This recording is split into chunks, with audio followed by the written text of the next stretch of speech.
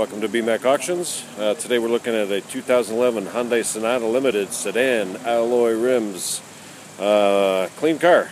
Mechanic-wise, test drive on this thing went really good.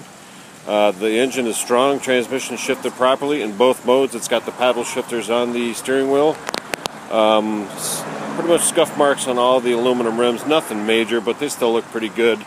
There's a couple door dings on uh, the quarter panel on this side you can review in the images. Uh, going around to the back of the vehicle, rear bumper's in good shape, deck lid, tail lights, all clean, all the glass is in good shape. Going around to the passenger side, door ding by the tail light area there. Um, other than that, passenger side is nice and clean. Going around to the front of the vehicle, headlights. Headlights are not discolored. Fog lights are good, no cracks there, not, a, not any rock chips on the hood that I can see. I'm going to go to the inside now. I'll let you hear the engine at the same time. It's got the leather seats on there.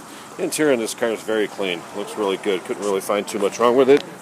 Um, there's the dashboard area there. No warning lights on. That all looks good. It's got uh, it's got the CD changer. It's got the MP3 XM radio. All those options. Auxiliary ports. Um, going to the back of the vehicle. The rear seats are nice and clean. Fold down center console.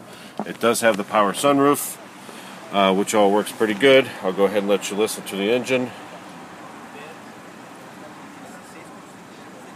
Second here.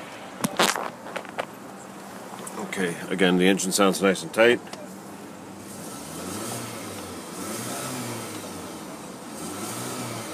No problems there. So good luck on your bidding.